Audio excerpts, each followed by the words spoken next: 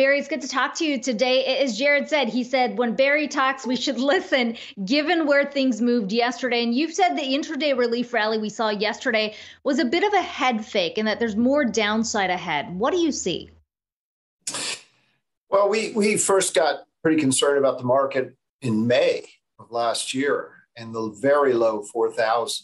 And uh, it looked like almost a ballistic path for the market where it climbed the stairs and then fell out the window. Uh, you know, the market dropped very abruptly, and that's something we had been concerned about back to those levels of last uh, early summer. If the Fed does not turn more dovish, which I have no reason to expect, we have not yet seen financial conditions tighten or credit spreads widen. There's no reason for them to uh, turn dovish before the first rate hike in March. They would lose all credibility. Uh, so the Fed relentlessly moving towards tightening. How much is priced into the market?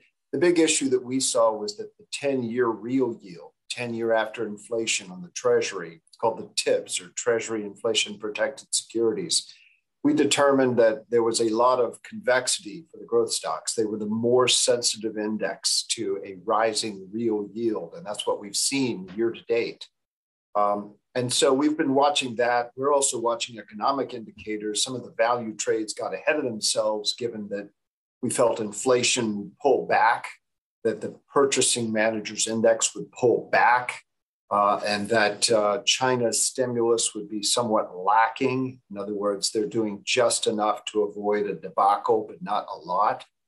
Um, and uh, so overall, we we still would wait on uh, on the market. I think uh, the defensives are the better place to be in the next uh, couple of months of this quarter, and then we'll reassess towards the end of the quarter what the potential is for growth stocks, perhaps to rebound if inflation moderates and uh, the Fed is, you know, cautious to a degree about the balance sheet and the interest rate path.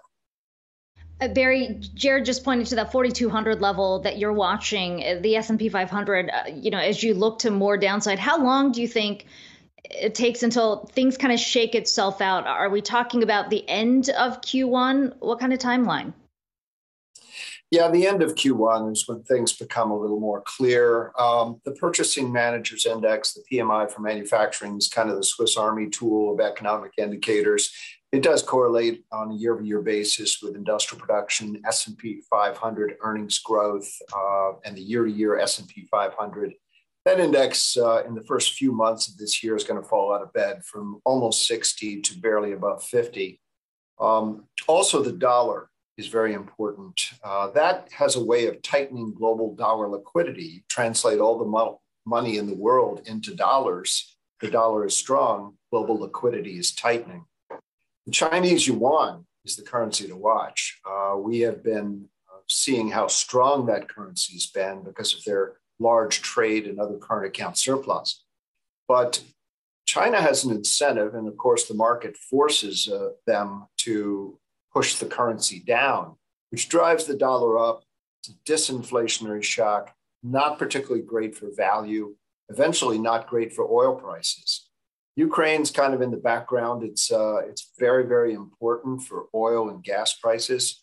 Um, I don't think Putin intends to invade, but he's got a valid point about uh, Ukraine not joining NATO ever.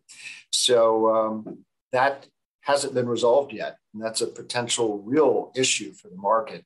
Uh, you could see uh, a severe winter mm-hmm. on account of that. You know, Barry, even as we continue to move on forward through earnings season as well and get some of the company's forecasts, many of them pointing back to pre pandemic levels that they're looking to see either revenues or profits grow on top of. And so, with that in mind, how will investors who are hearing about some of that growth versus those pre pandemic norms, how do you believe they'll trade on those scenarios, even with some of the headwind risk that you mentioned?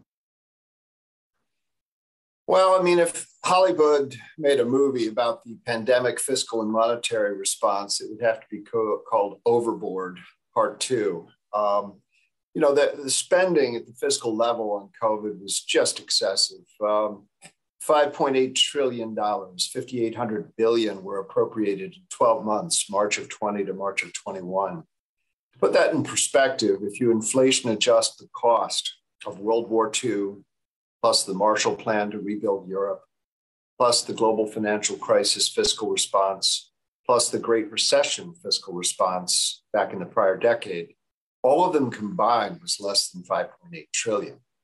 And then the Fed, of course, did QE4 at a rate 45% larger than Ben Bernanke's QE3 had ever been back in 2013, and uh, had to eventually uh, soak up uh, that money on the back end. In other words, uh, reverse overnight reverse repo became uh, 12 months of QE.